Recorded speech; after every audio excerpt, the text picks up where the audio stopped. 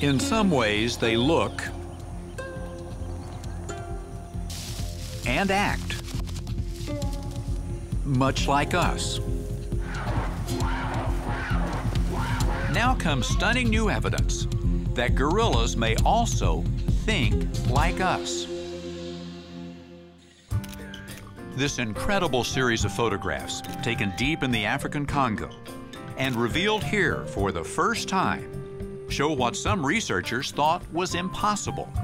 Proof that wild gorillas can think through problems, and like humans, they can make and use tools to solve those problems.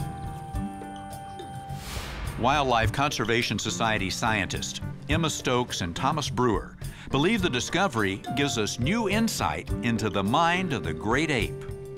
Thomas's observation of uh, tool-using behavior by gorillas in Mbeli was, was, a, was a fantastic discovery. It was made here, in this remote research outpost at Mbeli Bay. A swampy forest clearing in the northern Congo, where frolicking elephants create pools of turgid water. One morning, Breuer witnesses something extraordinary and manages to capture it on film. A female gorilla named Leah grabs a stick and appears to use it as a tool to measure the depth of the water before crossing a patch of swampy ground.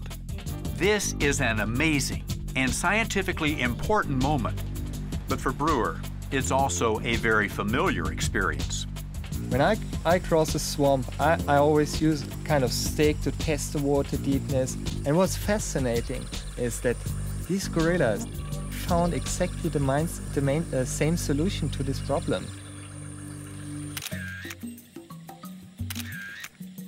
With these extraordinary photographs, WCS scientists for the first time have documented the use of tools among wild gorillas, something never seen before we know that in the, in the past, we, we claim that tool use is a unique uh, feature of our own species. But we know that that's not a, uh, the case any longer. Animals are able to plan, they think, and they, they find a solution to a problem. For years now, we've known some animals use tools, especially in the pursuit of food. These chimpanzees are experts at brandishing clubs to crack open nuts, passing their skills on to the next generation. They use sticks to fish out insects and leaves like cups to scoop up water. But until now, wild gorillas were not considered tool users.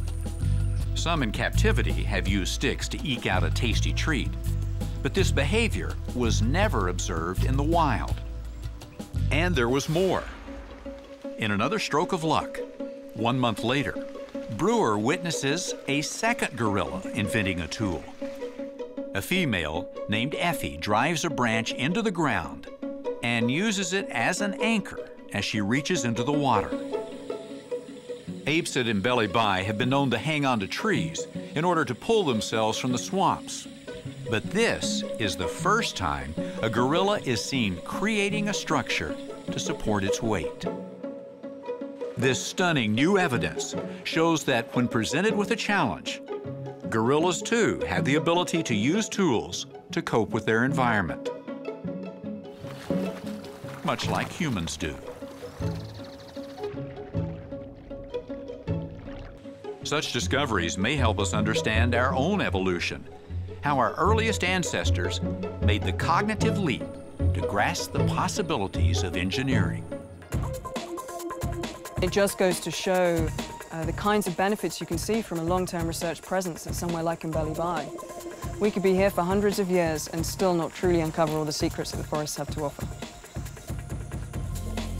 This important research gives us a glimpse into the minds of one of our nearest animal relatives, and perhaps into the mist of our own distant past.